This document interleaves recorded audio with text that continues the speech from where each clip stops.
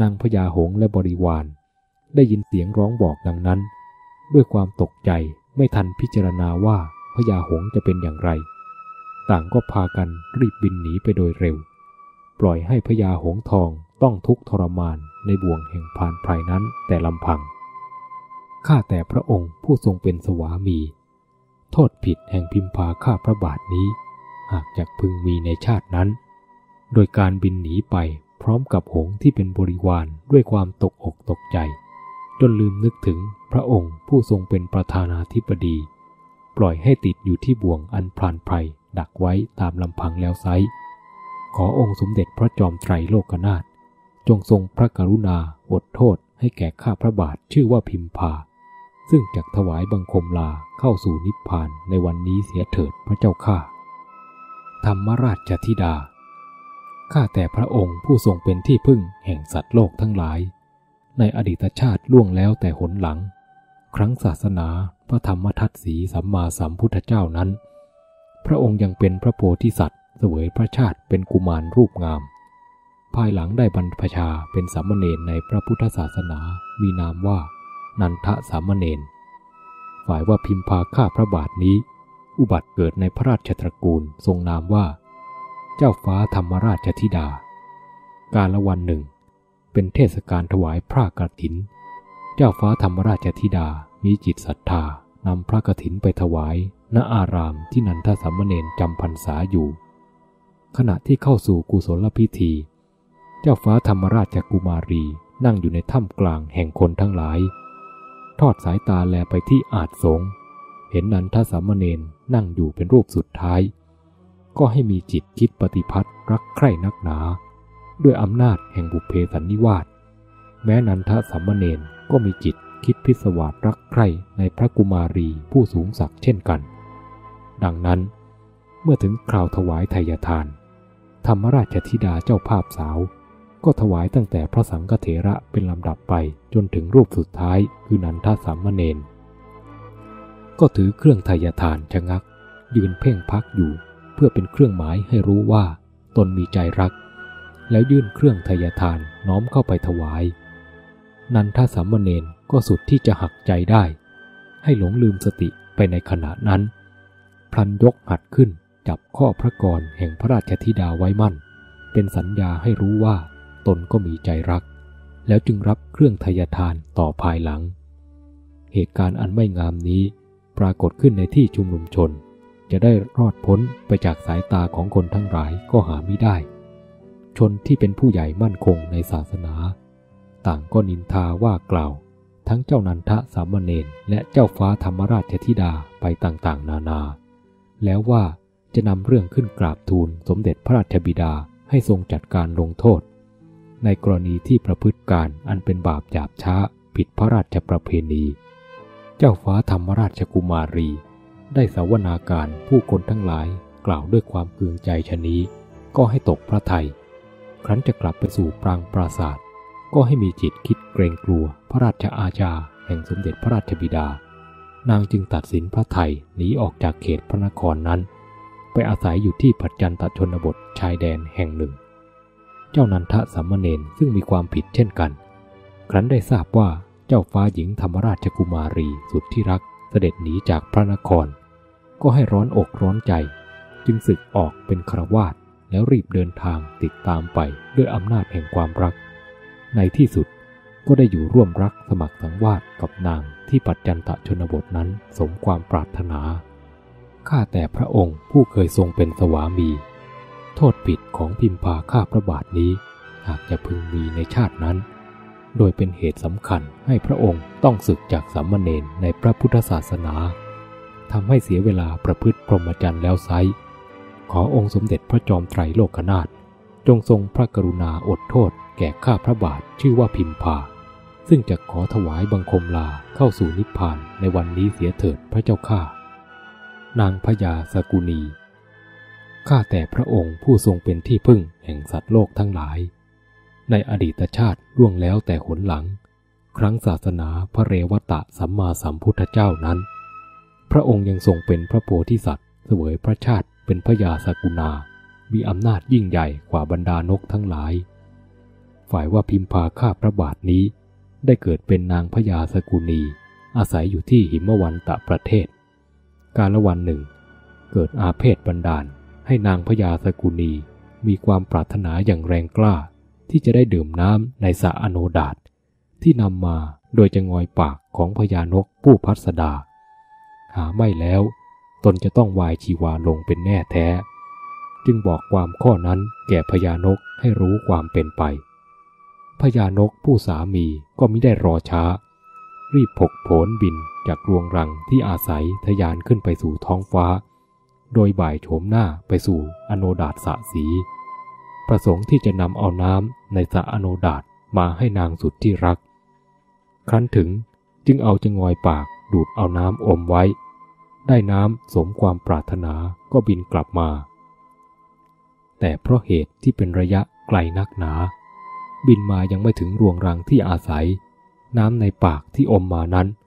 ก็พลันแห้งหายเข้าไปในคอของพญานกเสียสิ้นพญานกจึงบินกลับไปสู่สรอโนดาตอีกครั้ง อมน้ำจนเห็นว่ามากพอแก่ความต้องการแล้วก็บินกลับมา แต่เหตุการณ์ก็เป็นดังเช่นเดิม คือบินมายังไม่ถึงรวงรังที่อาศัย น้ำในปากที่อมมาก็ประลาดสนาการหายแห้งเข้าไปในคอของพญานกนั้นอีกเล่าพญานกเฝ้าบินกลับไปกลับมาอยู่อย่างนี้ถึงเจ็ดครั้ง แต่จะได้น้ำมาจนถึงภรรยาก็หาไม่ได้ พยายามจนอ่อนอกอ่อนใจแล้ว ก็กลับมาแจ้งความจำเป็น แก่นางพญาสกุณีที่รวงรัง พอนางได้ฟัง แทนที่จะเห็นใจในความจำเป็นอันเหลือวิสัย กับบังเกิดโทสะร้ายว่าพญานกสามีไปหลงไหลในนางสกุณีอื่นแล้ว จะแกล้งให้ตนถึงซึ่งความตาย เจ็บใจขึ้นมาก็เข้าทำร้ายพญานก จิกด้วยปากบ้าง ตีด้วยเท้าและปีกบ้างเป็นพลวันพญานกผู้สามีนั้น แม้จะถูกนางพญาสกุณีที่เป็นภรรยากระทำเอาถึงเพียงนี้ แต่จะได้มีความโกรธแก่นาง มาดว่าสักนิดหนึ่งก็หาไม่ได้ ทั้งนี้ก็อาศัยด้วยเหตุที่มีความเสน่หารักใคร่ในภรรยาของตนยิ่งนักหนา ข้าแต่พระองค์ผู้เคยทรงเป็นสวามี โทษผิดของพิมพาข้าพระบาทนี้ หากจะพึงบังเกิดมีในชาตินั้น โดยที่กอบด้วยโมหันไม่ฟังเหตุผลประการใด แล้วเข้าทำร้ายพระองค์ด้วยเท้าและด้วยปีก ทั้งจิกด้วยปาก ให้ได้รับความเจ็บปวดทุกทรมานแล้วไซขอองค์สมเด็จพระจอมไตรโลกนาถจงทรงพระกรุณาอดโทษให้แก่ข้าพระบาทชื่อว่าพิมพา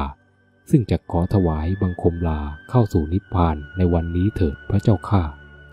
พระนางมัตสีข้าแต่พระองค์ผู้ทรงเป็นที่พึ่งแห่งสัตว์โลกทั้งหลาย ในอดีตชาติล่วงแล้วแต่หนหลังครั้งสุดท้ายเมื่อไม่นานมานี้ ขณะที่พระองค์เป็นพระโพธิสัตว์ บำเพ็ญพระพุทธบารมีใกล้จากสมบูรณ์เต็มที่ เสวยพระชาติเป็นหนอนเนื้อเชื้อกษัตริย์ ทรงพระนามว่าพระเวสสันดรทรงบุญยราศี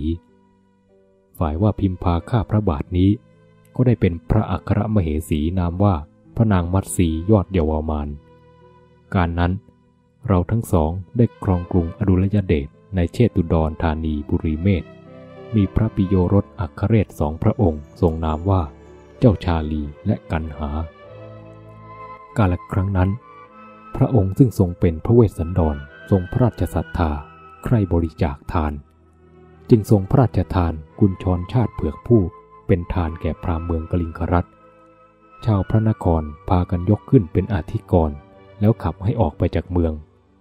พระองค์จึงทรงพาพระนางมัตสีและเจ้าชาลีกันหา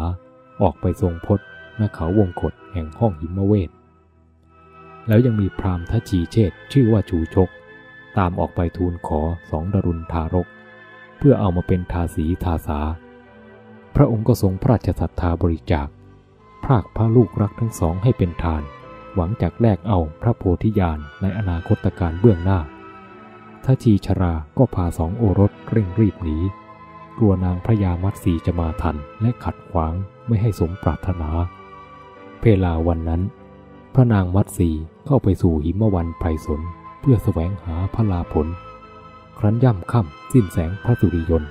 ก็จรดนกลับมาอยังบรรณศาลามิได้ทัศนาเห็นสองปิโยรสก็ให้ระทศพระไทย จะทูลถามพระราชสวามีสักเท่าใด พระองค์ก็ไม่ได้ตรัสให้แจ้งคดี นางพระยามัตสีก็ยิ่งมีความโศกเศร้าโศกา อุตสาห์เที่ยวตามหาสองกุมาร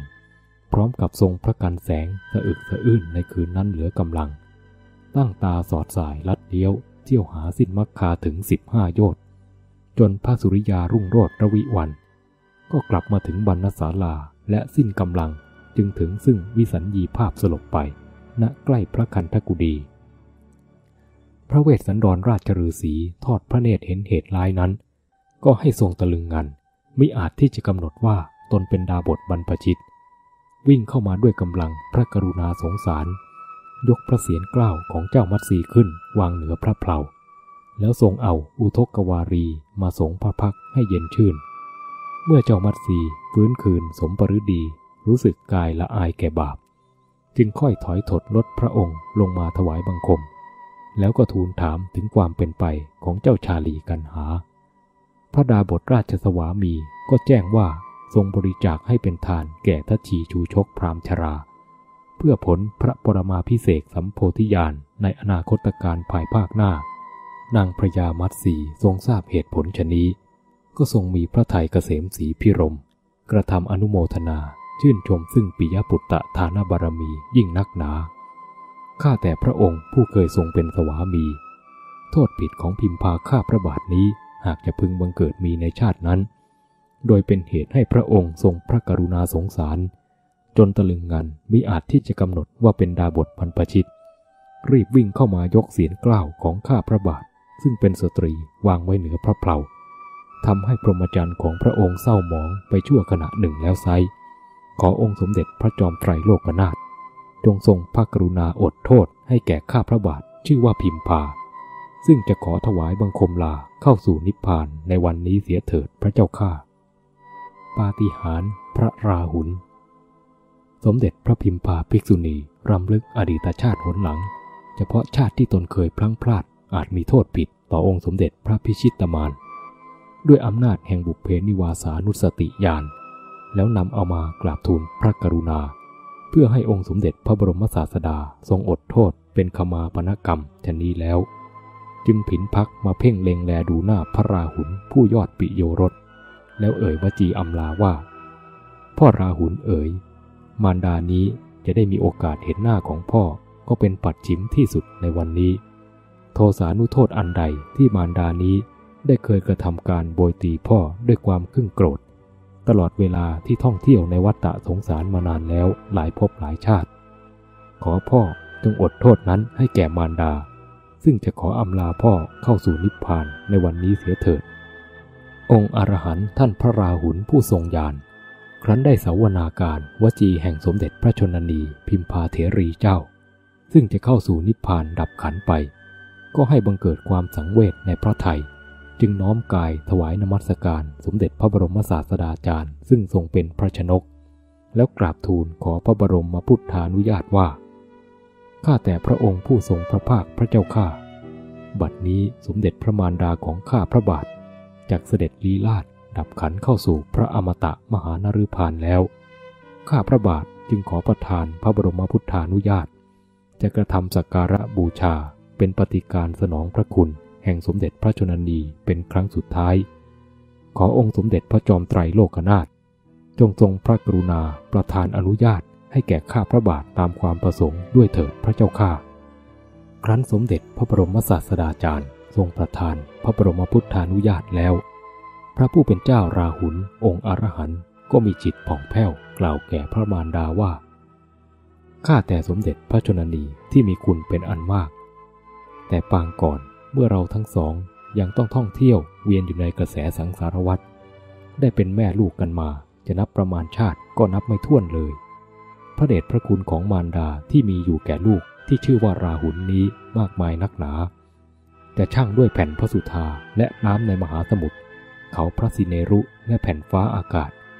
ธรรมชาติทั้งสี่สิ่งนี้ เมื่อประมวลกันเข้ามา เอาเป็นคู่ช่างกับคุณของพระมารดา ก็เห็นว่าจะมีน้ำหนักน้อยกว่าเป็นไหนไหนโอ้พระชนนีของลูกนี้เอ๋ยก็ไรเลยจะพัดพรากจากลูกเสียรับแล้วจริงหรือฉไหน พระคุณได้เคยอุ้มท้องประคองเลี้ยงรักษาตั้งแต่อยู่ในคันมา จนกระทั่งได้อุตสาอาบน้ำป้อนข้าวเฝ้าถนอมกล่อมเกลี้ยงเลี้ยงดู สู้อดตาหลับขับตานอน เมื่อยามลูกนี้ร่ำให้ชะอ้อนแล้วก็รับขวัญครั้นลูกพอรู้เจรจาตามภาษาทารกยังไม่ทันรู้จักบาปบุญคุณและโทษ เมื่อพระชนนีอุ้มประคับประคองก็ขนองมือขนองเท้าไปตามภาษาไม่รู้จบ บางทีก็ตบศีรษะและตีปากแห่งพระมารดา บางทีก็ปริพาสนาด่าว่า ให้โดยวิสัยทารกน้อยไร้เดียงสา พระมารดาก็ไม่ได้โกรธครึ่งเพราะถึงแล้วซึ่งการุญยจิต หากว่าโทษผิดอันนี้จะพึงบังเกิดมีแก่ลูกยาผู้ชื่อว่าลาหุนนี้แล้วไซขอพระมารดาผู้มีคุณใหญ่ไม่มีอะไรเปรียบปราน จงได้มีพระทัยกรุณาโปรดปรานประทานให้ซึ่งอภัยโทษ อันหนึ่งโสดพระมารดากับราหุนนี้ ตั้งแต่เป็นพระชนนีและเป็นบุตรกันมา พระมารดาก็ยังไม่ได้ทอดทัศนาเห็นฤทธิเดชปาฏิหาริย์แห่งลูกยาถนัดในยนา แม้แต่สักครั้งหนึ่งคราวเดียวเลย วันนี้ลูกยาผู้ชื่อว่าราหุลจะขอสนองคุณพระมารดาด้วยอิทธิปาฏิหาริย์เป็นอัศจรรย์ ดังนั้นขอเชิญพระมารดาจงกรุณาทอดพระเนตร และชมฤทธิเดชแห่งราหุลลูกยาในการระบาดนี้เถิดพระเจ้าข้า พระภิกษุเจ้าฟ้าชายราหุลองค์อรหันต์ผู้ทรงฌานแกล้วกล้า รุ่งเรือง ด้วยอภิญญาสมาบัติกล่าวชนี้แล้ว ก็ผินพักมาถวายนมัสการ องค์สมเด็จพระประทีปแก้ว สมเด็จพระชนกธรรมราชาธิบดี แล้วก็เหาะขึ้นไปบนนภาอากาศ กระทำปาฏิหาริย์ท่ามกลางสงสองฝ่ายคือ พระภิกษุสงฆ์และพระภิกษุณีสงฆ์ซึ่งมีองค์สมเด็จพระบรมศาสดาจารย์เป็นประธาน ให้ได้ทอดทัศนาการเห็นเป็นอัศจรรย์ โดยอธิษฐานองค์จำแรงแปลงกายเป็นเท้ามหาพรหมที่มีรูปกายใหญ่ล้ำมหึมา ทรงรัศมีรุ่งเรืองประพัดสอนเลื่อมพันรายสุดพันนา พระหัตถ์เบื้องซ้ายนั้นจับเอาดวงพระสุริยา พระหัตถ์เบื้องขวาคว้าเอาดวงนิสากร เอารูปพญาเขาอันบวร นามว่าสิเนรุราชมาทำเป็นคันฉัด เอารูปฉะกามาพัชรสวรรค์มาทำเป็นช่อชั้นเบื้องบนคันฉัด เด็ดเอาดวงนักขัดเริกทั้งหลายมากระทำเป็นข้าวตอกโปรยปลาย แล้วน้อมเอาสมบัติในสัตตบริพันธ์กีรีทั้งเจ็ดแต่ล้วนแล้วไปด้วยแก้วและทอง มาประกับเข้าเป็นสายสร้อยสังวานประดับวรกาย แล้วเหยียดยื่นเท้าลงไปหนีบคีบเอามัดฉาทั้งเจ็ดในท้องมหาสมุทรแต่ละตัวใหญ่ยาวได้หลายร้อยโยชน์สำแดงฤทธิ์ให้ปรากฏเห็นเป็นอัศจรรย์ชนนี้ แล้วก็ร้องทูลพระชนนีพิมพามาแต่เบื้องบนหน้าภากาศว่า ข้าแต่พระชนนีของลูกยา ขอเชิญพระมารดาจงชมปาฏิหาริย์ให้ถนัดในยนา ข้าแต่พระมารดาบังเกิดเกล้า ขอเชิญพระแม่เจ้าจงชมเชยฤทธาศักดาเดชคุณวิเศษ อันลูกยาผู้ชื่อว่าราหุลกระทำเพื่อแสดงคุณพระมารดาในการระบาดนี้เถิดพระเจ้าข้า พระภิกษุณีพิมพาเถรี ซึ่งจะถึงแก่ชีพิตักใสล่วงลับดับขันเข้าสู่นิพพานไป ครั้นได้ทอดทัศนาการเห็นปาฏิหาริย์เป็นมหัศจรรย์ดังนั้น พระนางก็ประนมหัดทั้งสองขึ้นสองสาธุการ ชมเชยพระฤทธิพระเดชของพระลูกยาอยู่ไม่ขาดปาก พอควรแก่การแล้ว ก็เชิญให้เสด็จลงมาจากนภากาศ รูปเนรมิตปาฏิหารนั้นก็อันตรธานหายกลายเป็นพระภิกษุหนุ่ม ราหุลองค์อรหันต์ดังเก่า แล้วพระนางเจ้าก็กล่าวสรรเสริญคุณพระราหุลปิโยรส ให้ปรากฏแก่หมู่ภิกษุสงฆ์และภิกษุณีสงฆ์อีกเป็นอันมาก ในที่สุด พระนางก็รำลึกถึงอดีตชาติหนหลัง ครั้งเจ้าราหุลอรหันต์อุบัติเกิดเป็นสุวรรณทีพกุมาร ด้วยอำนาจแห่งบุพเพนิวาสานุสติญาณแล้วนำเอามาพรรณนาในถ้ำกลางบริษัททั้งสองฝ่าย ซึ่งมีสมเด็จพระจอมไตรโลกนาถเจ้าเป็นประธาน เพื่อสรรเสริญคุณของพระราหุลอรหันต์ซ้ำอีกว่าดังนี้ สุวรรณทีพกุมาร ดูก่อนพ่อเอ๋ยพ่อราหุล พ่อนี้จะได้มีน้ำจิตคิดสนองคุณแก่มารดา แต่เพียงในการระบาดนี้ก็หาไม่ได้ ตั้งแต่เป็นแม่ลูกกันมาในวัฏฏะสงสาร มารดานี้ได้เห็นน้ำใจพ่อที่มีความห่วงใยรักใคร่ในมารดามามากกว่ามากนักจากยกมากล่าวแต่เพียงคราวครั้งเดียว เพราะเวลาของมารดาที่เหลืออยู่นี้มีน้อยนักหนา ก็ในการปางก่อนอันเป็นอดีตชาติหนหลัง ครั้งศาสนาสมเด็จพระพุทธองค์ทรงพระนามว่า พระพรหมชาละสัมมาสัมพุทธเจ้านั้น มารดานี้บังเกิดเป็นราชกุมารี ภายหลังได้เป็นเอกอัครมเหสีของพระเจ้าพมทัตราชาธิบดี พระองค์ทรงเป็นใหญ่ครองราชสมบัติในพระนครพาราณสี ในขณะที่มารดาทรงคันวันหนึ่ง เกิดวิบัติอาเพศ เหตุว่า หาฝนใหญ่ได้ตกถึงเจ็ดที่วาเจ็ดราตรี น้ำท่วมเมืองพาราณสีสุดที่มนุษย์จะอาศัยอยู่ได้ ก็พากันพินาศจมน้ำตายเป็นอันมากกว่ามาก ครั้งวิกฤตการณ์นั้น มารดานี้ได้เกาะขอนไม้ลอยไปตามกระแสน้ำพอขึ้นบกได้ที่เกาะใหญ่อันมีอยู่ที่กลางมหาสมุทรก็ประสูติพระโอรสงามโสภามารดาจึงตั้งนามตามเหตุ โดยให้ชื่อว่าเจ้าสุวรรณทีพกุมาร ค่อยอภิบาลรักษาเลี้ยงบำรุงเจ้าไปตามภาษายาก อยู่ด้วยกันสองคนแม่ลูกที่เกาะกลางมหาสมุทรนั้น จนเจ้าสุวรรณทีพกุมารมีชนมพันษาได้แปดขวบ กาลวันหนึ่ง มารดานี้เข้าไปสู่ป่าเพื่อแสวงหาพลาผลมาเลี้ยงดูกัน ได้ไปประจันหน้ากับยักษ์สาตนหนึ่ง ซึ่งมีนามว่าอารวากาศูนผู้ดุร้าย มันก็จับเอามารดาไปยังที่อยู่อาศัย เพื่อประสงค์จะกินเป็นพักษาหาร เมื่อได้เพลาสายันตะวันรอน เจ้าสุวรรณทีพกุมารบวรดานัยไม่เห็นพระมารดากลับมาเหมือนทุกวัน ก็ถลันแล่นเข้าไปสู่ป่า เฝ้าตะโกนกู่ก้องร้องเรียกหาไปตามวิสัยทารกที่เกิดมาเห็นแต่เพียงมารดา จนล่วงเข้ายามราตรีดึกดื่นค่อนคืนอย่างไร เจ้าก็ไม่ละความพยายาม กว้าวติดตามกู่ร้องเรียกเรียกหามารดาไป จนพระอาทิตย์อุทัยไขแสงทองส่องอารามฟ้า จึงได้มาถึงแดนยักษ์สาที่จับมารดาไว้ มารดาจำเสียงได้ก็ให้ตระหนกตกใจนักหนา จึงร้องห้ามด้วยความรักและห่วงใยสุดใจว่า ดูก่อนพ่อสุวรรณทีพเอ๋ยพ่ออย่าล่วงเลยเข้ามาที่นี่ ด้วยว่าที่นี่เป็นแดนยักษ์สามันจับเอามารดาไว้แล้ว ขอลูกแก้ว จงรีบหนีเอาตัวรอดเถิด กลับไป ขอลูกจงรีบกลับไปเถิด อย่าชักช้า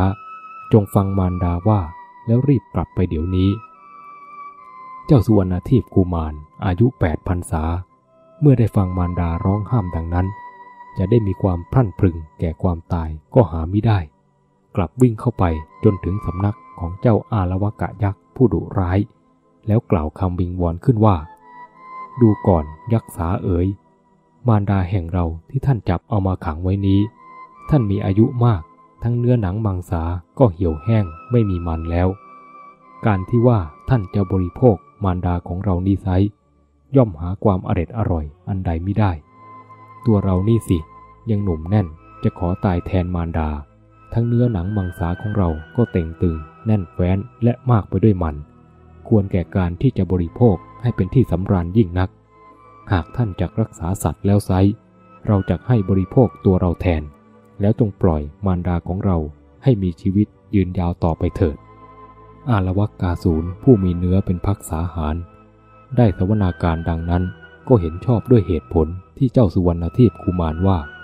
จึงปล่อยนางกษัตริย์ที่เป็นมารดานั้น และจับเอาตัวสุวรรณทีพคุมาร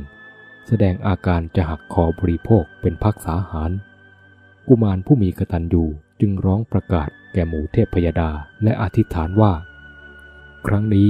ข้าพเจ้าขอสละชีพแทนพระมารดา หากว่าข้าพเจ้าเกิดในภายภาคหน้า ขอให้พระมารดาและข้าทั้งสองเราได้เป็นแม่ลูกพบกันทุกๆชาติ ตราบเท่าจนถึงชาติที่ได้สำเร็จพระนิพพาน อธิษฐานได้เพียงเท่านี้ จอมอสุรีอารวกะยักษ์ ก็หักคอส่วนอาทิพกุมาร บริโภคเป็นพักษาหารเสียต่อหน้าพระชนนี พ่อเอ๋ยพ่อราหุลของชนนี มารดาของพ่อชื่อว่าพิมพานี้ จะได้เห็นน้ำใจดีของพ่อที่มีกตัญญูรู้คุณ แต่เพียงในชาตินี้ก็หาไม่ได้ แม้ในชาติก่อนถึงจะเป็นเพียงกุมารไร้เดียงสา พ่อก็ยังมีน้ำใจกตัญญูสนองคุณมารดา จะได้เป็นผู้ชั่วช้าแต่อย่างใดก็หาไม่ได้เลย พ่อเอ๋ยพ่อราหุลของชนนี ขอพ่อจงค่อยอยู่ดีเป็นผาสุขเถิด มารดานี้จะไม่ได้เกิดเป็นแม่ลูกกับพ่อแล้ว จะขอลาลูกแก้วเข้าสู่นิพพานในวันนี้ ขอพ่อจงมองหน้าชนนีไว้ให้เต็มนายนา ขณะที่สมเด็จพระนางพิมพาภิกษุณี และพระอรหันต์ราหุลบวรดานัย ต่างก็ร่ำลาขอขมาและอภัยโทษกันอยู่นี้ ธรรมสังเวชได้บังเกิดมีในมหาสมาคมสุดประมาณ การละครั้งนั้น สมเด็จพระสันเพชรบรมศาสดาจารย์ ซึ่งทรงเป็นพระสัมมาสัมพุทธเจ้า แห่งเราชาวพุทธบริษัททั้งหลาย พระองค์ทรงได้โอกาสที่จะให้พระพิมพาภิกษุณีอดโทษบ้าง จึงทรงมีพระพุทธดีกาตรัสขึ้นในถ้ำกลางพุทธบริษัทว่า ดูก่อนเธอผู้เห็นภัยในวัฏฏะสงสารทั้งหลาย ตั้งแต่เราตถาคตสร้างพระพุทธบารมี เพื่อพระปรมาพิเศษสัมโพธิญาณ เกิดร่วมกันมากับเจ้าพิมพาภิกษุณีในวัฏฏะสงสาร มานานเป็นอเนกอนันต์นับชาติไม่ได้นั้น ก็ย่อมมีการก้ำเกินประมาทพลาดพลั้งแก่กันและกันบ้างเป็นธรรมดา ด้วยว่าเป็นผู้ร่วมทุกข์ร่วมสุขกันมาช้านาน การระบาดนี้ถึงคราวที่เจ้าจะดับขันเข้าสู่ปรินิพพานเสียแล้ว และคุณของเจ้าก็มีอยู่แก่เราตถาคตเป็นอันมาก ดังนั้นเราตถาคต จะยังเจ้าพิมพาให้อดโทษที่เคยมีมาในการระบาดนี้เสียก่อนจึงจะควร สมเด็จพระสัพพันยูเจ้า ครั้นตัดแก่เหล่าพุทธบริษัททั้งหลายในมหาสันนิบาตชนนี้แล้ว ก็ทรงผินพระพักมาตรัสกับสมเด็จพระนางพิมพาภิกษุณี โดยพระพุทธดีกาขมาปณกาถา ให้พระนางทรงอดโทษแต่อดีตโดยประการทั้งปวงแล้ว และเพื่อที่จะแสดงคุณแห่งพระนางให้ปรากฏ สมเด็จพระตถาคตเจ้าผู้มีพระญาณอันไม่ข้องขัด จึงนำเอาเรื่องในอดีตชาติมาตัดขึ้น ในถ้ำกลางพุทธบริษัททั้งหลาย ดังต่อไปนี้ พัทธิยะเศรษฐี อดีตชาติล่วงแล้วหนหลัง ครั้งศาสนาแห่งสมเด็จพระปฐมมุตระสัมมาสัมพุทธเจ้านั้น เราตถาคตได้เกิดเป็นเศรษฐีมีนามว่าพัทยะเศรษฐี มีอาชีพเป็นนายพาณิชย์พ่อค้าสำเภา ส่วนเจ้าพิมพานี้เกิดเป็นกุมารี งามโสภา นามว่า ปฏิคารุกา ภายหลังต่อมาได้เป็นบาทบริจาริกา แห่งพัทยะเศรษฐีนั้น การละวันหนึ่ง พัทยาเศรษฐีมีกิจจะต้องเดินทางโดยสำเภาไปค้าขายยังเมืองสุวรรณภูมิ เป็นเวลาช้านานจะประมาณวันเดือนปีไม่ได้ ดังนั้นก่อนที่จะออกเดินทางจึงสั่งนางปฏิคารุกาไว้ว่า เจ้าอยู่ข้างหลังจงตั้งใจอย่าได้ประมาท เร่งระวังรักษาตัวเจ้าและทรัพย์สมบัติไว้ให้ดี ครั้นสามีออกเดินทางไปแล้ว นางปฏิคารุกาก็กระทำตามคำสั่งสามีทุกสิ่งทุกประการ สมัยนั้น สมเด็จพระปฐุมมุตระสัมมาสัมพุทธเจ้า เสด็จพุทธดำเนินโปรดสัตว์มาจนถึงเมืองพาราณสี อันเป็นเมืองของพัทยะเศรษฐี นางปฏิครุกา ภริยาแห่งพัทยะเศรษฐีเจ้ามีศรัทธา ทูลอาราธนาสมเด็จพระพุทธเจ้า พร้อมกับพระอริยสงฆ์องค์บริวาร ให้เข้าไปรับอาหารบิณฑบาตทที่คฤหาสน์ของนาง ครั้นเสร็จพัฒกิจแล้ว สมเด็จพระบรมศาสดาจารย์ ก็ทรงประทานพระธรรมเทศนาพัตตานุโมทนา แสดงพลานิสงแห่งบินทบาททาน นางปฏิคารุกาได้สดับพระธรรมเทศนาจบลงแล้ว ก็มีจิตผ่องแผ้วกอบด้วยศรัทธากล้าหาญประสันนาการเรื่มใส จึงกราบทูลอาราธนาพระองค์ไว้มิให้เสด็จไปสู่นครอื่น แล้วได้บริจาคทรัพย์สมบัติมากมายออกจำหน่ายจ่ายสร้างพระวิหาร วันฉลองวิหารก็ได้ถวายไตรจีวรเย็บย้อมเป็นอันดี ในขณะที่สมเด็จพระพุทธองค์ กับทั้งพระสงฆ์สาวกบริวาร เสด็จมารับมหาทานในพิธีการฉลองมหาวิหารนั้น นางก็หลังทักษิโนทก ให้ตกลงเหนือฝ่าพระหัตถ์แห่งสมเด็จพระพุทธองค์เจ้าแล้ว จึงตั้งปณิธานความปรารถนาว่า ข้าพเจ้าขออุทิศส่วนพลานิสงนี้ส่งไปให้สามีของข้าพเจ้าผู้ชื่อพัทยะเศรษฐี เดชะผลทานนี้ ขอให้สามีของข้าพเจ้าประกอบไปด้วยสิริสวัสดี นิราชปราศจากภัยอันตรายในมหาสมุทร สมเด็จพระพุทธองค์เจ้า จึงทรงอนุโมทนาว่า ขอความปรารถนาของเจ้าจงสำเร็จดังมโนรสเถิด แล้วก็ประทับอยู่ในวิหารนั้นตามคำอาราธนาของนาง ข้างทางพัทยาเศรษฐีหลังจากที่ฟันฝ่าอุปสรรคอันตรายในถ้ำกลางมหาสมุทรใหญ่ เดินทางไปค้าขายยังสุวรรณภูมินคร ครบกำหนดนานถึงสามปี แล้วจึงได้กลับมาถึงคฤหาสน์แห่งตนที่เมืองพาราณสีโดยปลอดภัย แต่พอมาถึง และนั่งลงแล้ว นางปฏิครุกาภริยาก็แจ้งความตามที่นางได้บำเพ็ญกองการกุศลต่างๆ แล้วพาสามีไปสู่อารามที่ตนสร้างไว้ในพระบวรพุทธศาสนา เพื่อให้สามีได้ชื่นชมโสมนัสในมหากุศลจวนกันเข้าไปถวายอภิวาทแทบพระบาทยุคคลแห่งองค์สมเด็จพระทศพลปฐมมุตระสัมมาสัมพุทธเจ้า ซึ่งยังประทับอยู่ที่อารามนั้น ครั้นพัทยาเศรษฐีเพ่งพิษพินิษดูสมเด็จพระสัพพันธ์ดูเจ้า ก็ยิ่งบังเกิดศรัทธาออกวาจาสรรเสริญสดุดีว่า สมเด็จพระบรมศาสดา เป็นผู้ทรงพระเดชพระคุณอันล้ำเลิศประเสริฐกว่าสรรพสัตว์ในไตรภพทรงรบชนะซึ่งปัญจวิทมานได้อย่างจริงแท้แน่นอนโดยไม่ต้องสงสัย สดุดีชนี้แล้ว ก็มีสกลกายและดวงหฤทัยเต็มตื้นไปด้วยกำลังปิติโสมนัสยิ่ง แล้วจึงมีสุนทรวาจา กล่าวกับภริยาว่า ดูก่อนเจ้าผู้มีพักอันเจริญ เจ้านี้เป็นคนดีนักหนา มีจิตศรัทธากอบด้วยปัญญา สร้างมหากุศลไว้ในพระบวรพุทธศาสนาเห็นปานชนี้ คราวนี้นับว่าเป็นบุญญาลาภของเราทั้งสองแล้ว ด้วยว่าเราจะได้สำเร็จพระโพธิญาณก็เพราะการกุศลนี้ พัทยาเศรษฐีผู้มีศรัทธา ปลงปัญญาให้เห็นตามความเป็นจริง ดังนี้แล้ว ก็มีจิตผ่องแผ้ว น้อมกายถวายนมัสการ สมเด็จพระปฐมมุตระสัมมาสัมพุทธเจ้า ครั้งแล้วครั้งเล่า แล้วจึงออกโอดตั้งความปรารถนาเอาพระพุทธภูมิโพธิญาณเฉพาะพระพักสมเด็จพระปฐมมุตระบรมศาสดาจารย์ด้วยประการชนี้ สมเด็จพระชินสีสัมมาสัมพุทธเจ้า เมื่อทรงนำเอาเรื่องในอดีตชาติมาตรัสเล่า ณถ้ำกลางมหาสังฆสันนิบาตจบลงแล้ว จึงทรงมีพระพุทธดีกาตรัสแก่พระพิมพาภิกษุณีอีกว่า ดูก่อนเจ้าพิมพา อันตัวเจ้านี้มีคุณแก่เราตถาคตมาแต่การก่อน เราตถาคตจกได้สำเร็จแก่พระบวรสัมโพธิญาณก็เพราะอาศัยเจ้าเป็นส่วนสำคัญ ตลอดเวลาที่ยังต้องท่องเที่ยวอยู่ในวัฏฏะสงสาร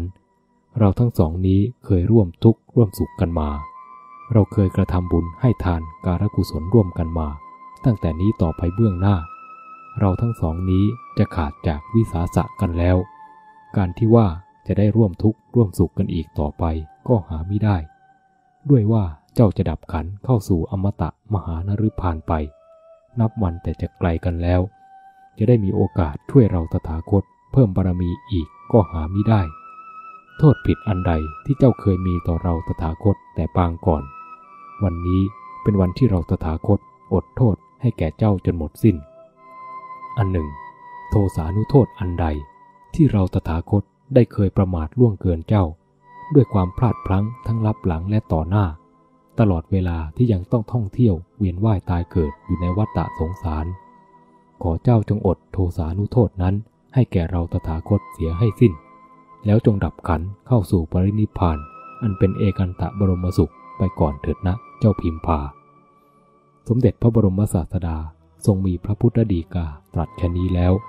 ก็ทรงนิ่งเฉยไม่ได้ตรัสประการใดอีก ด้วยทรงบังเกิดธรรมสังเวชในขณะนั้น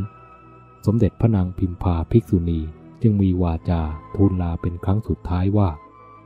ข้าแต่พระองค์ผู้ทรงพระสวัสดิภาคเป็นอันงาม พระองค์ทรงเป็นที่พึ่งแห่งปวงประชาสัตว์ในไตรโลกนาถพระเจ้าข้า ในอเนก บุรพชาติแต่ก่อนมา ข้าพระบาทพิมพานี้ ได้เคยร่วมสร้างบารมีกับด้วยพระองค์เป็นอันมากกว่ามาก ตั้งแต่นี้ไปพิมพาข้าพระบาทนี้ ก็จะไม่ได้ร่วมบารมีกับด้วยพระองค์อีกแล้ว อันหนึ่ง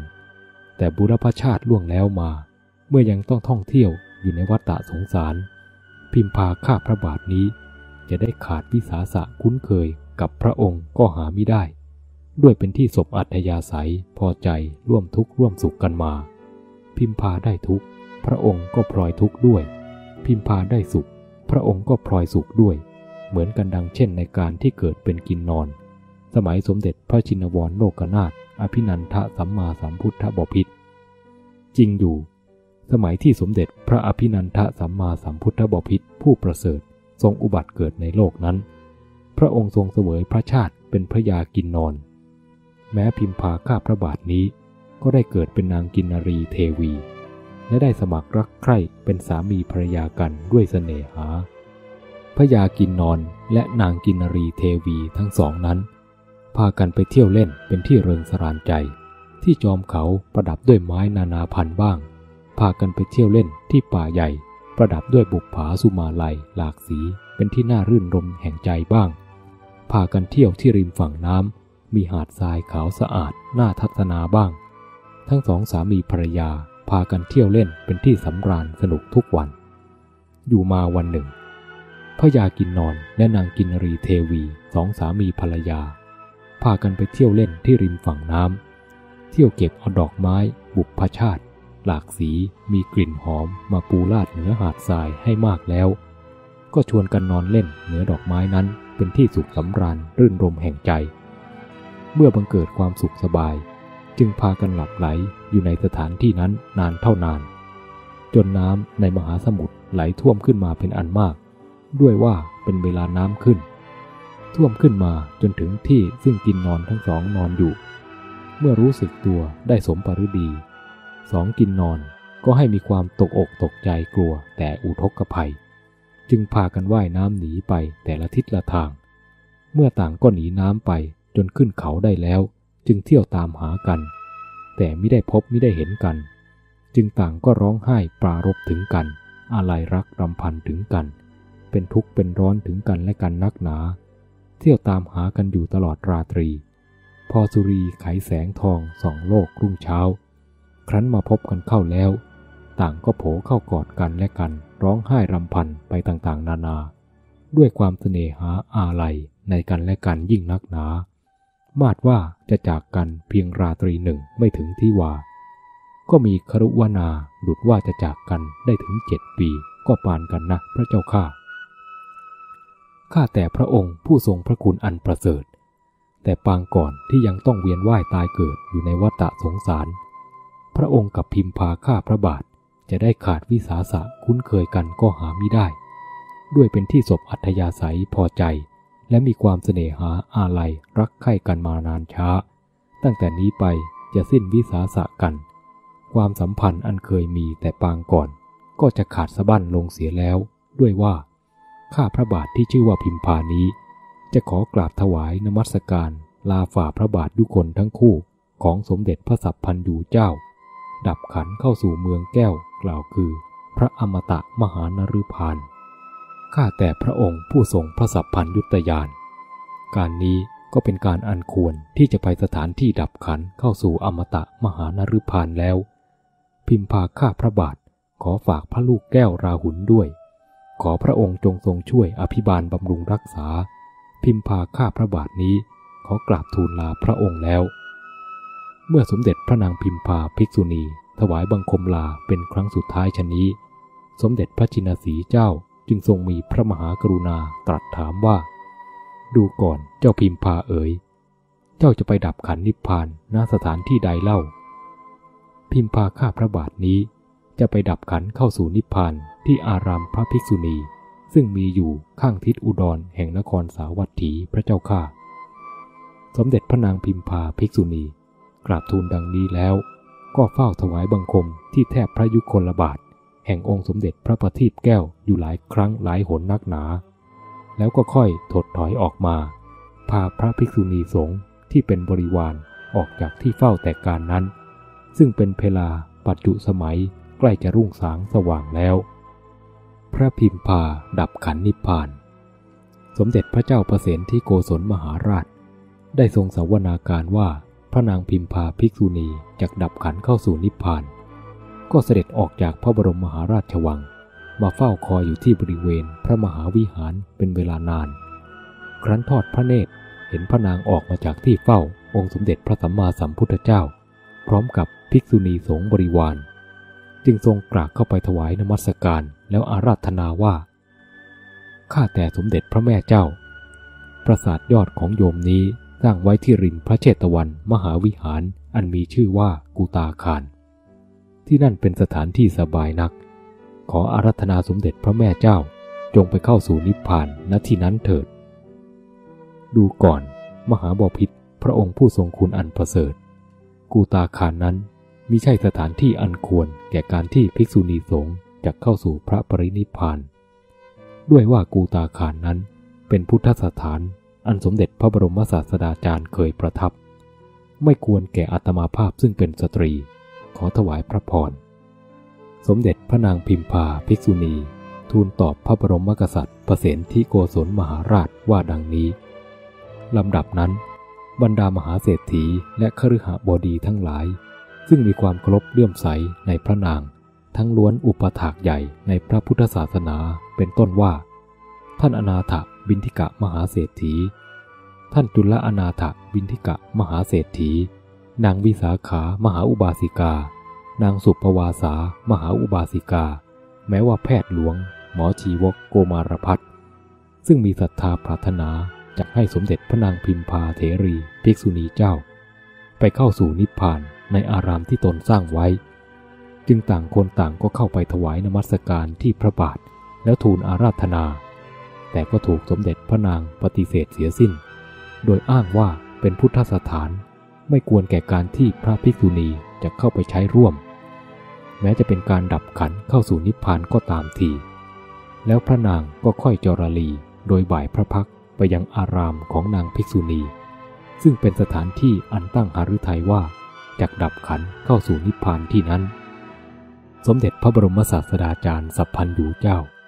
จึงทรงมีพระมหากรุณาดำรัสสั่งพระเจ้าประเสนที่โกศลมหาราชในขณะนั้นว่า ดูก่อนมหาบพิษพระราชสมภาร ขอพระองค์พร้อมกับอำมาตย์ราชบริพารจงรีบเสด็จไปก่อนเจ้าพิมพา จงไปจัดการตกแต่งประดับประดา ณสถานที่ซึ่งเจ้าพิมพาจะดับขันเข้าสู่นิพพาน ที่อารามของนางภิกษุณีให้เป็นที่เรียบร้อย ก่อนเจ้าพิมพาไปถึงจึงจะควรนะ มหาบพิษแล้วเราตถาคตจะติดตามไปในภายหลัง ได้ทรงสดับพระพุทธดำรัสสั่งดังนั้น สมเด็จพระบรมกษัตริย์ประเสนที่โกศลมหาราช ก็ทรงน้อมพระองค์ลงถวายนมัสการที่พระยุคลบาทของสมเด็จพระชินวร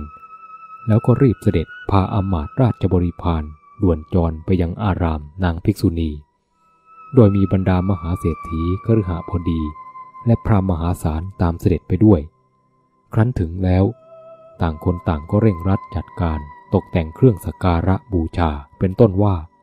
ประทีปทูบเทียนธงฉัดและดอกไม้ ให้เป็นสถานที่อันวิจิตรอลังการ ควรแก่เป็นสถานดับขันปรินิพาน สมเด็จพระนางพิมพาภิกษุณีซึ่งมีบุญใหญ่ แล้วสมเด็จพระเจ้าประสิทธิโกศลผู้มีความเคารพเลื่อมใสในพระนางเจ้าเป็นอันมาก จึงมีพระบรมราชโองการ ตรัสสั่งให้ปูลาดด้วยสุดยนี ยี่ผู้พระขเนยทอง เบื้องบนให้ดาดเพดานห้อยย้อยไปด้วยบุปผาชาติ อันมีกลิ่นหอมสุมาลัย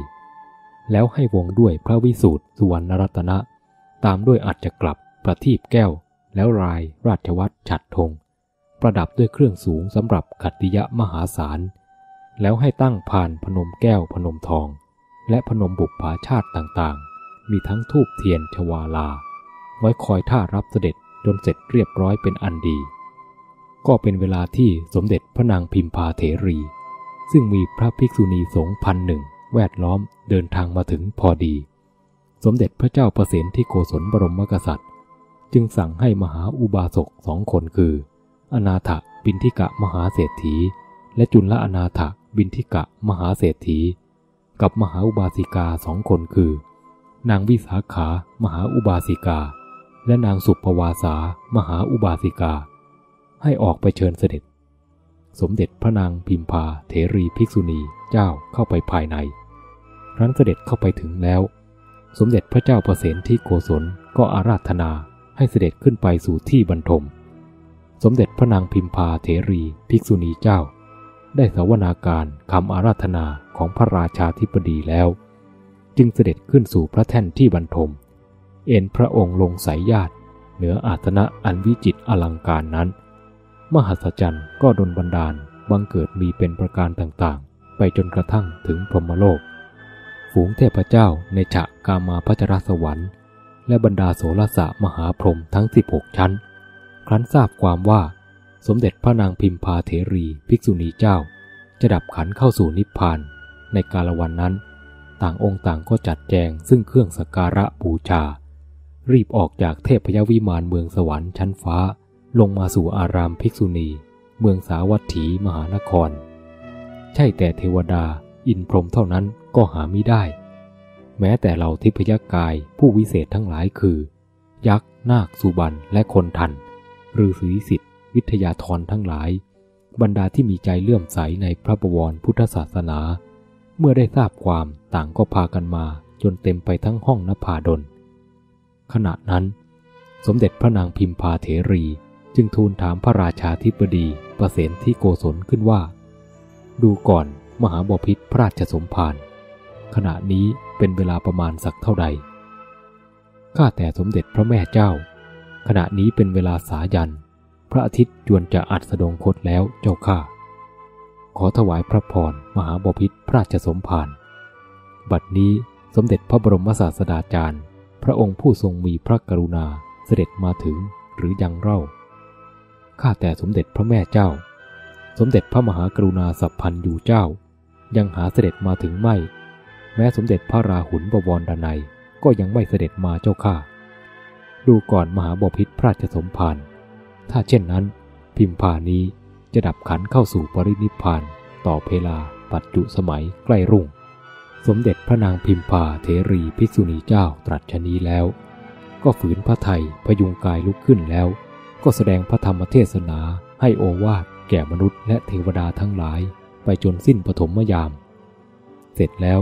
จึงให้เรียกภิกษุณีสงฆ์มาประชุมกัน ประธานโอวาทโดยนัยยะอันวิจิตพิสดารจนสิ้นมัชชิมยาม ครั้นล่วงเข้าปัจฉิมยามจนถึงปัจจุสมัย สมเด็จพระจอมไตรโลกนาถบรมศาสดา กับพระราหุลอรหันต์ก็พาพระภิกษุสงฆ์บริวารเสด็จมาถึงพอดี พระนางพิมพาเถรี ถวายนมัสการสมเด็จพระชินสีเจ้าเป็นครั้งสุดท้าย แล้วก็อธิษฐานเข้าฌานสมาบัติเป็นลำดับไป ตั้งต้นแต่ปฐมฌานจนถึงเนวสัญญา นาสัญญายตนะฌานเป็นอนุโลมปฏิโลมกลับไปกลับมา พอถึงเพลาปัจจุสมัยใกล้อรุณรุ่ง จึงอธิษฐานเข้าจตุตถาฌานและออก แล้วสมเด็จพระนางแก้วพิมพาเถรีภิกษุณีเจ้า ก็ดับขันเข้าสู่อมตะมหานฤพาน สมัยนั้น มนุษย์และเทวดาแต่บรรดาที่ยังเป็นปุถุชน ตัดความรักอาลัยไม่ขาดไปจากขันธสันดานเมื่อได้ทราบว่าสมเด็จพระนางเจ้าดับขันเข้าสู่อมตะมหานฤพานแล้ว ต่างก็พากันโศกาดูนร่ำให้เสียงเซ็งแซ่ควรจะสงสาร ส่วนท่านที่เป็นอรหันต์อริยะบุคคล มีองค์สมเด็จ พระทศพลสัมมาสัมพุทธเจ้าเป็นต้น ก็บังเกิดธรรมสังเวชในหฤทัยทุกท่วนหน้า คราทีนั้น สมเด็จพระอมรินทราธิราชเจ้าจอมสวรรค์ชั้นไตรตรึง จึงทรงมีเทวะองค์การให้อัญเชิญพระศพมาชำระสะสงด้วยอุทกวารี แล้วสมเด็จพระเจ้าประเสนที่โกศลผู้เป็นใหญ่ จึงถวายผ้าเนื้อละเอียด ให้หุ้มห่อบรมศพแห่งพระเถรี เหล่าเทวดาและมนุษย์ที่มีศรัทธาเลื่อมใส ก็ปลดเปลื้องเครื่องประดับออกจากกาย ถวายให้เป็นเครื่องประดับพระศพกันมากมายนักหนา มีคำที่พระโบราณอาจารย์พรรณนาไว้ว่า พระบรมศพของสมเด็จพระนางพิมพาเถรีภิกษุณีเจ้าในวันนั้นทรงไว้ซึ่งความงามโสภา ยิ่งกว่าเทพพระอัปสอนสวรรค์ทุกชั้นฟ้าเสียอีกลำดับนั้น ท่านเท้าสุดทาวาสมหาพรหมผู้วิเศษ ซึ่งด่วนจรมาแต่สุดทาวาสพรหมโลกด้วยศรัทธาเลื่อมใส ก็อธิษฐานใจในรมิดด้วยพรหมฤทธิ์ให้เป็นหีบทองเข้ารองรับพระศพใส่ไว้เป็นอันดี ฝ่ายสมเด็จเท้าโกสีอมรินทราธิราช ก็เนรมิตด้วยเทพฤทธิ์ให้บังเกิดเป็นเมรุทองมียอดได้ห้าร้อยยอด มีสันฐานงดงามรุ่งเรืองเลื่อมพันาราย กรอบไปด้วยเครื่องประดับอันวิจิตรนอกจากพรหมและเทวดาจากเนรมิตด้วยฤทธิ์แห่งตนแล้วบรรดามนุษย์ทั้งหลาย ต่างก็พากันตกแต่งประดับประดาด้วยฉัดธงเป็นอาทิ แล้วก็อัญเชิญพระศพขึ้นสู่พระเมรุทอง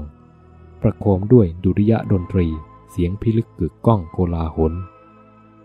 สมเด็จพระทศพลสัมมาสัมพุทธเจ้า จึงทรงมีพระพุทธดีกาตรัสแก่องค์อมรินทราธิราช ซึ่งประทับยืนอยู่ในขณะนั้นว่า เราตถาคตจะประทานเพลิงศพเจ้าพิมพาก่อนผู้อื่นใดในการระบัดนี้ สมเด็จเท้าโกสีผู้เป็นใหญ่ในไตรตรึงสวงสวรรค์ ได้สดับพระพุทธดีกาดังนั้น ก็มิได้ทรงรอช้าให้เสียเวลา น้อมเอาเพลิงอันเกิดแต่แว่นแก้วมณีเข้าทูลถวายทันที สมเด็จพระผู้มีพระภาคเจ้า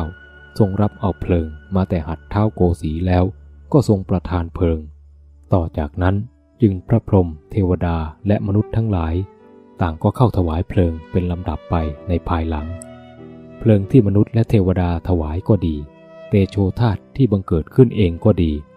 ทั้งสองสิ่งนี้ได้รวมกันเผาผลาญบรมศพสมเด็จพระนางพิมพาเทรีภิกษุณีเจ้า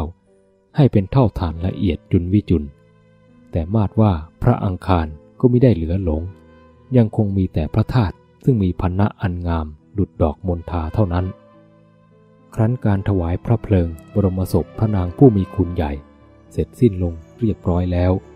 สมเด็จพระเจ้าประสิทธิโกศลมหาราช จึงทรงกราบทูล องค์พระจอมไตรโลกนาถขึ้นในขณะนั้นว่า ข้าแต่พระองค์ผู้เจริญ สมเด็จพระนางพิมพาเถรีภิกษุณีเจ้า ท่านดับขันเข้าสู่ปรินิพานครั้งนี้ ปรากฏว่า มีมนุษย์และเทวดา อินพรหมยมยักษ์พากันมาสักการะบูชาและถวายพระเพลิงมากมายยิ่งนักหนา ควรจะเห็นว่ามากกว่าพระอรหันตสาวก ที่ดับขันเข้าสู่นิพพานไปแล้วทั้งปวง เมื่อเป็นเช่นนี้ บรมธาตุอันมีพันณะงามดุดดังดอกมณฑาแห่งสมเด็จพระนางพิมพาเถรีที่เหลือปรากฏอยู่นี้ ควรจะนำไปประดิษฐานไว้ณที่ใดพระเจ้าข้าสมเด็จพระสัมมาสัมพุทธเจ้า ได้ทรงสวนาการพระราชบุตรชาดังนั้น จึงทรงมีพระพุทธดีกาดำรัสสั่งองค์ราชาธิบดีประเสนที่โกศล ให้ทรงสร้างพระสถูปเจดีย์ณสถานที่อันควรแห่งหนึ่งในกรุงสาวัตถี เพื่อเป็นที่บรรจุพระบรมธาตุสีดอกมณฑาแห่งองค์พระพิมพาเถรีภิกษุณีเจ้า เพื่อให้เหล่าเทวดา อินพรหมและมนุษย์ ที่มีน้ำใจเคารพเลื่อมใสในพระบวรพุทธศาสนา ได้กระทำคารวะสักการะบูชาสืบต่อไปชั่วกาลนานด้วยประการชนี้อวสานบท สมเด็จพระชินสีสัพพันยูเจ้า ซึ่งทรงเป็นพระบรมศาสดาของพวกเราชาวพุทธบริษัททั้งหลาย ได้ทรงมีพระมหากรุณาตรัสพระพุทธดีกาไว้ว่า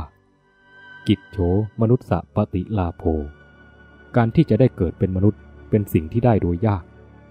บาทพระคาถานี้ พระอัฏฐกถาจารย์ผู้มีญาณวิเศษ และมีปัญญาอย่างทราบความหมายในพระพุทธดีกาอย่างแจ้งชัด ได้กรุณาให้อธิบายความไว้ว่า การที่จะได้เกิดมาเป็นมนุษย์ สมเด็จพระพุทธองค์ตรัสว่าเป็นสิ่งที่ได้โดยยาก ก็โดยเหตุว่า การที่จะมีโอกาสมาเกิดเป็นมนุษย์ได้นั้นจะต้องได้ด้วยความบากบั่นพยายาม ก่อสร้างกองการกุศลอันยิ่งใหญ่เสียก่อน จึงจะมีโอกาสมาเกิดเป็นมนุษย์ได้ จริงอย่างนั้น บรรดามนุษย์หรือผู้คนในโลกนี้ ก่อนแต่การที่จะเกิดมา คือในขณะที่จะถือเอาซึ่งปฏิสนธิ เพื่อเกิดมาเป็นคนในมนุษยโลกนี้นั้น ต้องอาศัยกรรมฝ่ายดี ซึ่งเรียกว่ากุศลกรรมเป็นเหตุปัจจัย หรือเป็นตัวการบันดาลอันสำคัญยิ่ง ทั้งกุศลกรรมที่เป็นเหตุปัจจัย หรือเป็นตัวการบันดาลอันสำคัญยิ่งนี้ จะต้องเป็นกุศลกรรมที่มีพลังกล้าแข็งเพียงพอด้วย จึงจะสามารถชักนำให้มาถือปฏิสนธิเกิดเป็นคนได้ หากเป็นกุศลกรรมที่ไม่มีกำลัง หรือมีกำลังอ่อนแอ ไม่สามารถที่จะต่อต้านกับอกุศลกรรมที่เป็นฝ่ายตรงกันข้ามแล้ว กุศลกรรมนั้นถึงแม้จะมีอยู่โดยแท้ แต่ก็ไม่สามารถที่จะชักนำให้มาถือปฏิสนธิเกิดเป็นคนได้ เมื่อกุศลกรรมไม่มีกำลังกล้าแข็งเพียงพอที่จะชักนำให้มาถือปฏิสนธิเกิดเป็นคนได้ สัตว์ทั้งหลายจะไม่ถือปฏิสนธิเกิดเป็นอะไรอื่น นอกจากจตุราบาย คือว่าสัตว์ทั้งหลายย่อมจักถูกอกุศลกรรมที่มีกำลังแรงกล้ากว่า ชักพาให้ไปถือปฏิสนธิในจตุราบาย โดยให้ไปเกิดเป็นสัตว์นรกในนิรยะภูมิบ้าง ให้ไปเกิดเป็นเปรตในเปรติวิทยะภูมิบ้าง ให้ไปเกิดเป็นอสุรกาย ในอสุรกายยภูมิบ้าง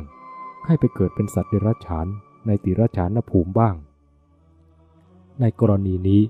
ขอให้ท่านผู้มีปัญญาทั้งหลายพึงทราบว่า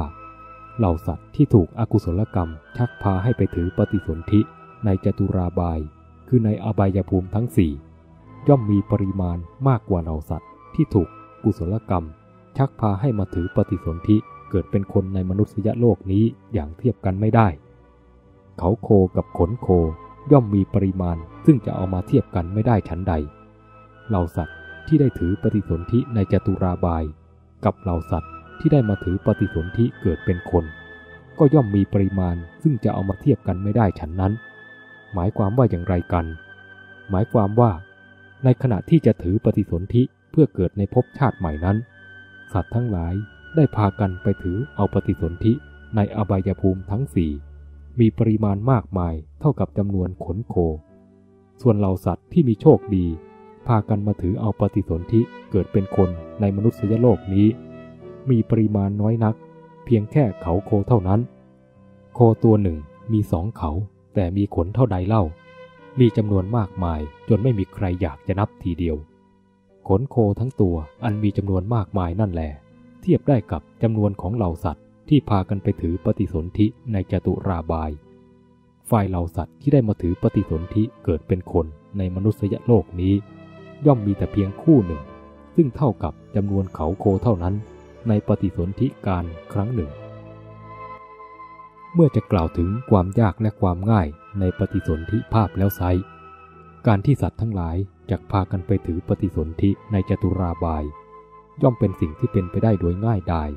ส่วนว่าการที่สัตว์ทั้งหลายจะได้มาถือปฏิสนธิเกิดเป็นคนในมนุษยโลกนี้ ย่อมเป็นสิ่งที่เป็นไปได้โดยยากนัก หากจะเปรียบกับกิริยาของคนที่ว่ายน้ำไปในมหานาที การที่จะบ่ายหน้าไปถือปฏิสนธิเกิดเป็นสัตว์ในจตุราบาย ย่อมเปรียบประหนึ่งคนที่ว่ายน้ำไปตามกระแสน้ำไหล ซึ่งเป็นการกระทำที่ง่ายดาย ส่วนการที่จะได้มาถือปฏิสนธิเกิดเป็นคนในมนุษยโลก ย่อมเปรียบประหนึ่งคนที่ว่ายทวนกระแสน้ำซึ่งเป็นการกระทำที่ยากนักหนา การได้มีโอกาสเกิดมาเป็นมนุษย์พบพระพุทธศาสนา ปราดทั้งปวงพากันกล่าวว่า เป็นโอกาสดีวิเศษสุด ทั้งนี้ก็เพราะพระพุทธศาสนาเป็นศาสนาที่ทรงไว้ซึ่งคุณค่าโอรานมหัศจรรย์ เป็นศาสนาที่องค์สมเด็จพระสัพพันยูเจ้าทรงประกาศ อาจจะกล่าวได้ว่า บรรดาศาสนาต่างๆ ที่ปรากฏมีในโลกทุกยุคทุกสมัย ศาสนาอื่นใดที่จะมีคำสอนอันวิเศษประวรถูกต้องตามสภาพธรรมความเป็นจริง เหมือนพระพุทธศาสนานั้นเป็นอันไม่มีอย่างแน่นอน ความวิเศษประวรแห่งพระพุทธศาสนา ย่อมปรากฏมีอยู่มากมายสุดพรรณนา แต่ที่นับว่าวิเศษสุดก็คือ ในพระพุทธศาสนาซึ่งมีองค์สมเด็จพระสัมมาสัมพุทธเจ้าทรงเป็นพระบรมศาสดานี้ มีวิธีการสอนเพื่อให้บรรลุธรรมวิเศษถึงขั้นวิมุตติธรรม ความหลุดพ้นจากกองทุกข์ เมื่อบุคคลใดซึ่งมีโอกาสดี ได้เกิดมาเป็นมนุษย์พบพระพุทธศาสนา มีปัญญาผ่องใส ใครจะนำตนให้พ้นจากกองทุกข์ในวัฏฏะสงสาร และต้องการจะบรรลุถึงพระนิพพานอันเป็นวิมุตติธรรม หากเขาผู้นั้นอุตสาหะปฏิบัติตามหลักการที่ปรากฏมีในคำสอน อันเป็นนิยานิกธรรมทางพระพุทธศาสนาแล้วไซก็อาจที่จะได้บรรลุวิมุตติธรรมเป็นขั้นขั้นไป ตั้งแต่วิมุตติธรรมขั้นต้นจนถึงขั้นสูงสุดสำเร็จเป็นพระอรหันต์มหาขีนาสวะเจ้า สังโยชน์กิเลสทุลีแม้แต่เท่ายองใหญ่ ก็ไม่มีเหลือติดอยู่ในขันธสันดาน เป็นผู้หมดกิจอยู่จบพรหมจรรย์ สิ้นสุดการเวียนว่ายตายเกิดในวัฏฏะสงสาร ได้รับประโยชน์จากการที่ได้เกิดมาเป็นมนุษย์ พบพระพุทธศาสนาอย่างชื่นชมยินดี ทั้งเป็นผู้ที่ควรแก่การเคารพบูชา แห่งปวงเทวดาและมนุษย์ทั้งหลาย